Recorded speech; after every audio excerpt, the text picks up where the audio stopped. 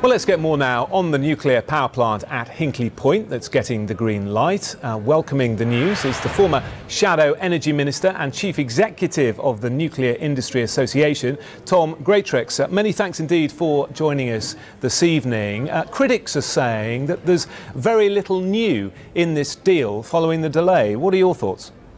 Well, I think what that demonstrates is that the incoming new Prime Minister, new Chancellor, new uh, Energy and Industry Secretary said they wanted to have a look at the components of the deal. And despite all the noise and uh, all of the criticism around, once they've looked at that in detail, uh, have concluded that this is a good project for the UK. It's important to contribute to our low carbon energy supplies for the future though, in a way that complements other energy sources, that it's a good industrial project with a supply chain that will stretch into every part of the country and providing lots of jobs both when it's being constructed but then for the 50, 60, probably more years that it will be generating power and that actually we need this project and we need this power station to go ahead. So I take from the delay and what's the outcome of that, that that was really the government just checking over that and the new Prime Minister being satisfied. And she has introduced, and they have introduced some additional steps in relation to future projects. And I think actually that's to be welcomed because it gives a sense of clarity for investors and for anybody who may wish to uh, seek to develop any future nuclear project, that they know exactly where they stand. And that can only be a good thing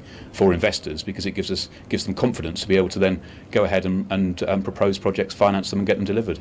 There is a great deal of concern, isn't there, about security, about the Chinese being so heavily involved in our nuclear industry. Are you confident that this deal addresses that? Because many people aren't.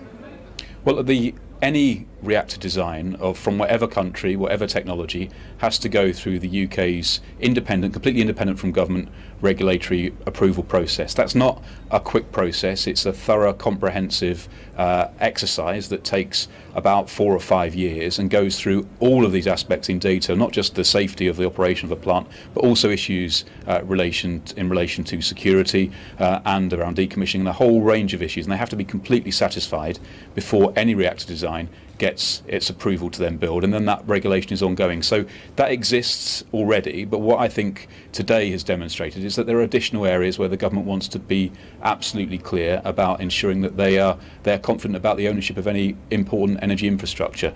I think look that is important because it sets that clarity for people, and that's uh, that's an important step now to enable the investment in this and other future nuclear projects.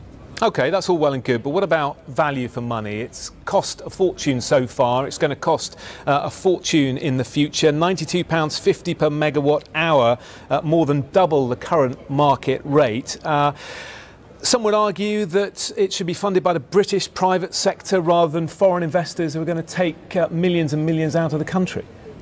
Well, the, the price, the comparison with a wholesale price, actually, if you're comparing to yesterday's wholesale price, Hinkley's £92.50 was well below. Uh, it reached about £160 a megawatt hour yesterday. Why, was, why did that happen? It's because there was high demand because it's very warm, there wasn't very much wind power, and that sort of indicates the problem we have and the need for that new capacity. And actually, uh, compared to offshore wind contracts signed at the same time at 140 and 150 pounds a megawatt hour, the amount you're paying per unit of electricity is not um, is not high by in relation to any other contract for difference. But what's important with this is that the price you should be comparing to is what the price will be from 10 years' time for the 35 years that, um, that, the, that the strike price uh, is in place and it's the difference between the wholesale price and that strike price. And if it goes above £92.50, as it did yesterday, as it has done in the past in the last five years, then money will come back to the consumer from EDF. What it does, it sets a floor for the price that enables these long-term investments to happen. Because the thing about nuclear power and renewables is that there is low or very uh, or, or no fuel costs but there's capital cost to build the thing to start with and to deal with it afterwards. But during the course of operation, there's very little fuel cost. That's very different from gas-fired power stations, which uh, more are cheaper and quicker to build. But then you've got to factor in the gas price, the fuel price. And what we've seen in the last five years, and we've seen historically, is that gas prices go up and down. That influences the power price. If we want to have a balanced mix, then we need nuclear as part of that to provide that low carbon, reliable power, but do it also in a way where we're not overexposed to the volatility you get in gas prices and, and fossil fuel prices in the market. But other options for low carbon electricity are getting cheaper and cheaper all the time, aren't they, as the technology develops? Shouldn't we be ploughing money into that rather than looking at, at, at this, what is uh, some think uh, as old technology? Well, um, there are a range of different low carbon technologies, but there is not one that currently exists that gives you reliable, secure, constantly available electricity. And even at the lowest point of demand, there is still a significant demand for power. Um, and all of the contracts of difference that have been signed for whatever other technology there's been, the average price of those is well above the Hinkley price. So yes, prices, costs are coming down, but they're still high. They're high because there's a big capital cost, but then there's no fuel cost to deal with during that time. What we need is a balanced mix. There isn't a contradiction between renewables and nuclear. Actually, it's all part of how we get the best low carbon mix for the future. And that's about renewables, it's about nuclear, it's about managing demand more effectively, it's about storage when that develops fully. But we're nowhere near being able to do it without nuclear yet, unless we want to completely bust all our carbon commitments.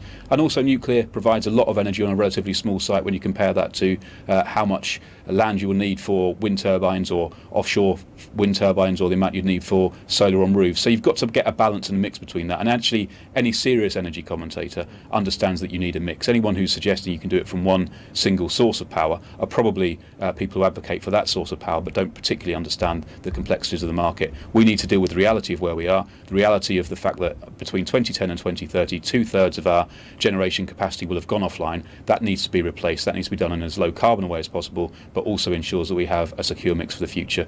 Nuclear is able to contribute to that alongside other technologies, and today's news is a step forward to be actually being able to get on and develop that and, and ensure that we have that reliable supply that every household and every business in the UK needs.